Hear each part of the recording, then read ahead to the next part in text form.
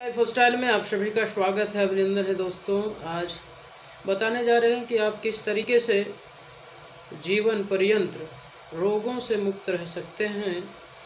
और इसके लिए आप मेरा वेबिनार अटेंड कर सकते हैं, जो ट्वेंटीन ऑफ़ नवंबर को संडे को आयोजित किया जा रहा है, जो ऑनलाइन माध्यम से होगा।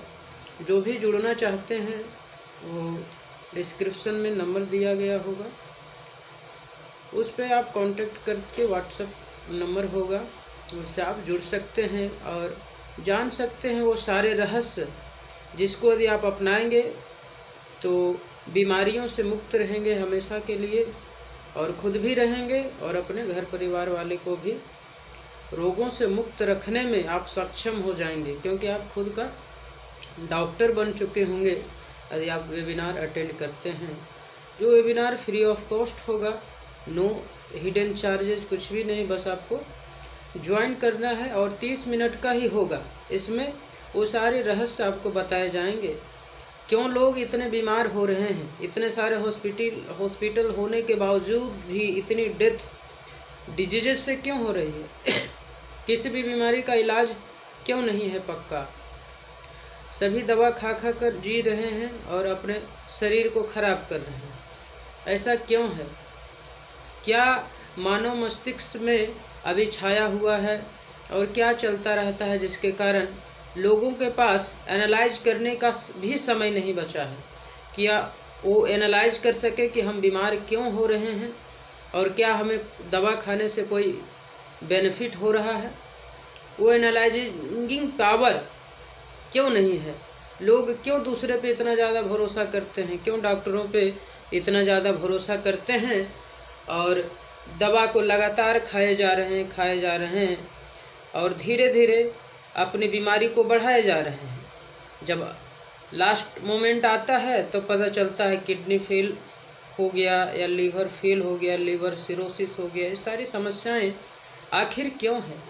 यदि आप डीपली जानना चाहते हैं और चाहते हैं कि आप किस तरीके से इन जंजालों से बच सकते हैं, इन षडयंत्रों से बाहर निकल सकते हैं जिसमें आज नब्बे से पंचानवे परसेंट लोग फंसे पड़े हैं।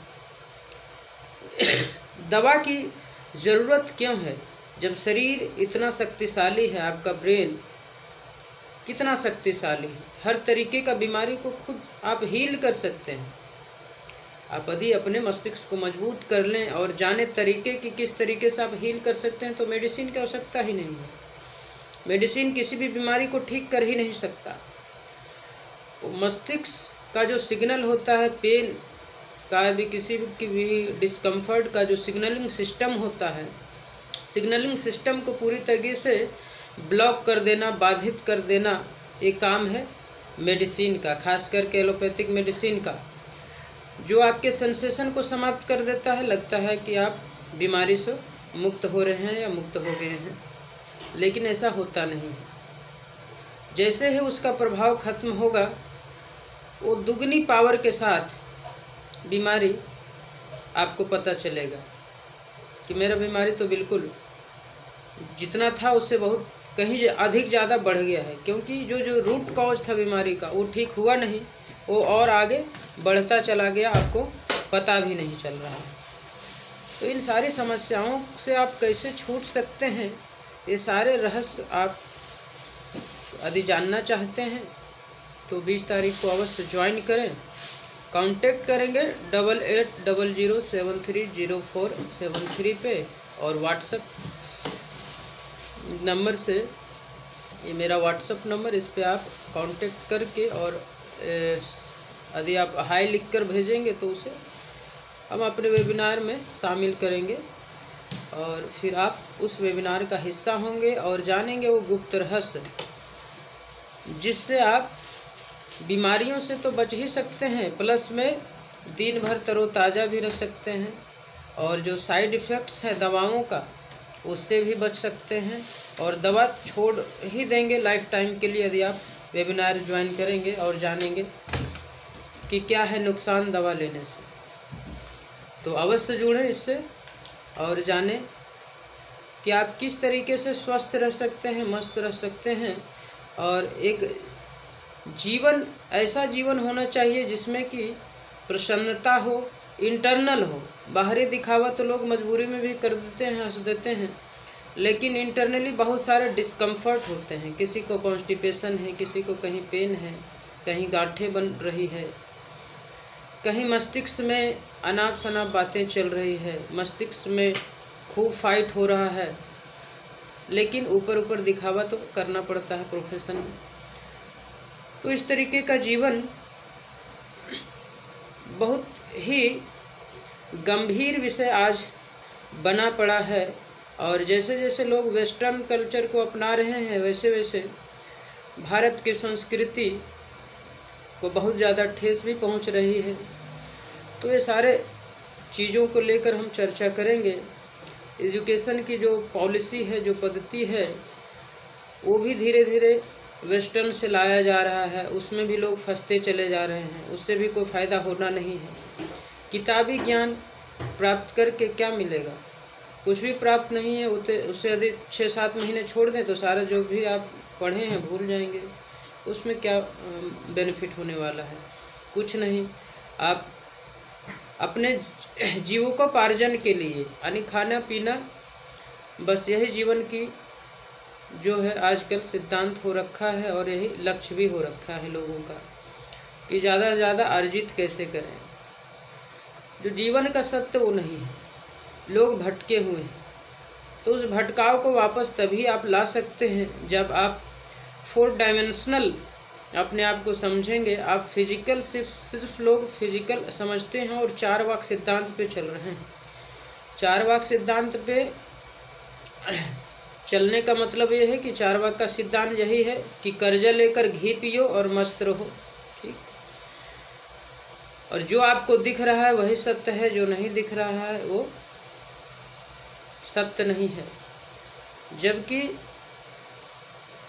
आँखों से देखा हुआ भी बहुत बार सत्य नहीं होता, क्योंकि उसके पीछे कुछ और ही तथ्य होता है।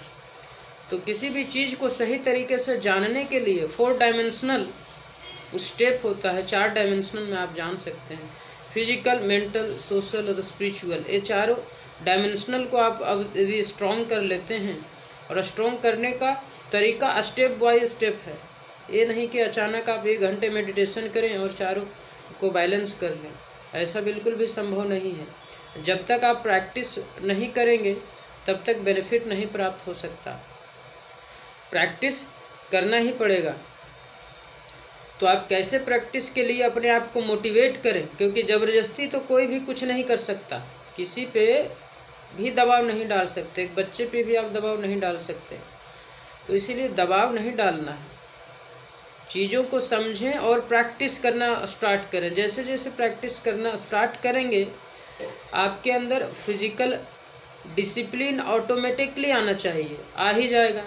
जब सही प्रैक्टिस को आप सही अलाइनमेंट के साथ सही पोजेज को आप करते हैं, योगाभ्यास करते हैं, या जो तकनीक आपको बताया जाएगा वो करते हैं तो फ़िज़िकल लेवल पे डिसिप्लिन आएगा। उसके बाद मेंटल लेवल पे डिसिप्लिन आएगा। उसके बाद सोशल लेवल पे डिसिप्लिन आएगा। किसी को गलत अब शब्द नहीं कहेंगे। इस टाइप का डिसिप्लिन आपके अंदर ऑटोमेटिक आएगा। ये नहीं कि ज़बरदस्ती आपको कुछ करने की ज़रूरत है। स्टेप बाय स्टेप चलेंगे तो सब कुछ अपने आप होता है। उसके बाद स्पिरिचुअल लेवल पे डिसिप्लिन आ जाएगा उसके बाद मन आपको लगाने के लिए ज़ोर ज़बरदस्ती मेडिटेशन करने की ज़रूरत नहीं है। जब चाहेंगे तब। आपका मन जहाँ चाहेंगे वहाँ लगेगा। ये पावर होता है कंसंट्रेशन का। और इसी तरीके से स्वामी विवेकानंद के पास हाई लेवल ऑफ़ कंसंट्रेशन भी था, जिसके कारण उन्होंने पूरे किताब को सिर पलट कर अपने मस्तिष्क में उतार लिए थे। तो इस टाइप की क्षमता के लिए आपको काम करना पड़ेगा, मेहनत करना पड़ेगा। किसी किसी का विलक्षण प्रतिभा, जो पहले संस्कार होते हैं, पहले जन्मों के संस्कार, उससे होते हैं जो बचपन से ही योगी होते हैं, बचपन से ही बुद्धिमान होते हैं। बहुत सारे ऐसे होते हैं, लेकिन आज की साइंस इस बात को नहीं मानेगी। साइंस का मानना है कि सबका मस्तिष्क एक ही समान है, एक ही तरीके से ट्रीट किया जाए। लेकिन ये बिल्कुल सही नहीं है। हर व्यक्ति के अंदर एक अलग टाइप की प्रतिभा होती है और उस प्रतिभा को यदि आप जान लेते हैं और उस डायरेक्शन में काम करते हैं बहुत जल्दी सफलता भी मिल जाती है। जो, जिन्होंने अपनी अपनी प्रतिभा को जाना है उस डायरेक्शन में काम किया, वो बहुत सफल हो जाते हैं, बहुत कम उम्र में। तो चलिए, आप वेबिनार को ज़रूर से ज़रूर अटेंड करें और जानें वो रहस्य जिससे आप बीमारियों से मुक्त रह सकते हैं, अपने परिवार को भी मुक्त रह सकते हैं और ख़ासकर मेरा उद्देश्य है medicine free life.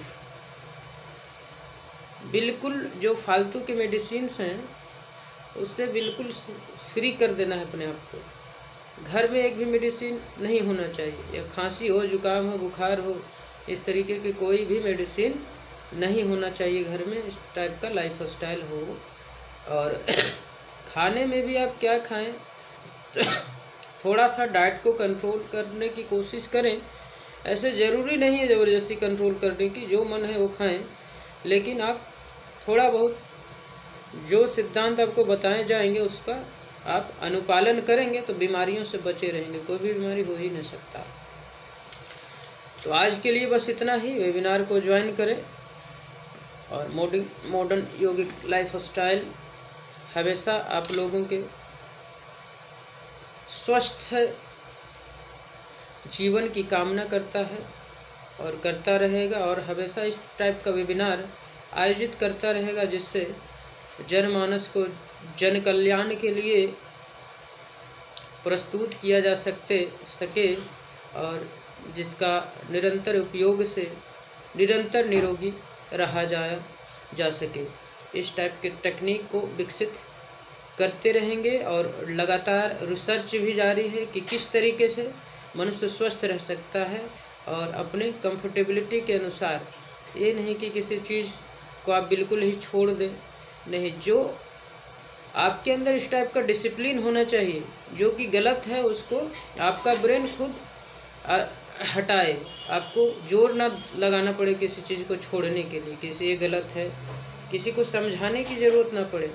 Automatic discipline body के अंदर होनी चाहिए। इस तरीके की प्रतिभा विकसित करना हर मनुष्य में ज़रूरी है। आज जितने इस तरीके का वातावरण हो रखा है कि मनुष्य को देवतुल्य माना जाता है, लेकिन आज इस हद तक मनुष्य गिर चुका है कि उससे अच्छा पशु ही होता है। बहुत लोग को कहते हुए भी सुना होगा। तो ये सारे क्यों हैं? इस टाइप की जो बीमारियाँ लोगों में पनपी है, उसका मुख्य कारण क्या है? उसका रूट काउज क्या है? यदि आप जड़ को जानना चाहते हैं कि क्या कारण है जिससे मनुष्य, जिसे देवतुल्य माना जाता है, वो पाश्विक वृत्तियों की ओर बढ़ चला है और अग्रसर है। मनुष्य हमेशा गलत काम ही कर रहा है आजकल। ऐसा क्यों है? तो जानने के लिए आप ज़रूर वेबिनार अटेंड करें। तब तक के लिए have a great day have a nice day and be careful and be healthy.